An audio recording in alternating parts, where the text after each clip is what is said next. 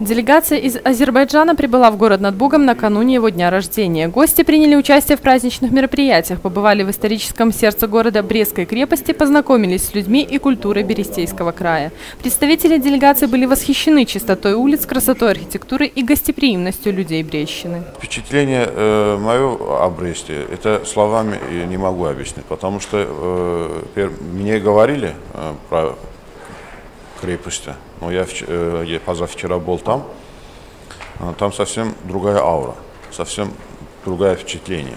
Как будто все это сам там живешь, переживаешь там. И еще там грамотно, хорошо там экскурсовод объяснила, как грамотно объяснила все в музее, когда посмотрели. Это словами не объяснишь.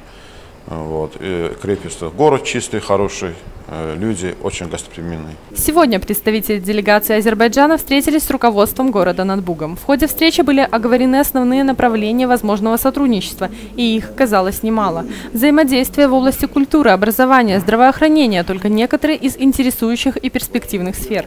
Каждой из сторон есть что предложить партнерам, и поэтому в целесообразности сотрудничества сомневаться не приходится. Сначала мы начнем вот, э, э с, э, с образования что наши студенты приехали сюда на опытом, э, обмен опыта, приехали сюда, ваши студенты туда приехали, у нас есть, э, есть э, университет государственный, э, вот туда можно приехать. И преподаватели пускай приезжают, наши сюда, ваши туда, чтобы там преподавали. Ну, в общем, обмен опытом. И наши деловые люди, ну, э, до конца года мы собираемся отправить сюда, чтобы приехали, что-то здесь сделали. Уже совсем скоро планы по развитию перспективных и взаимовыгодных отношений начнут воплощаться в жизнь.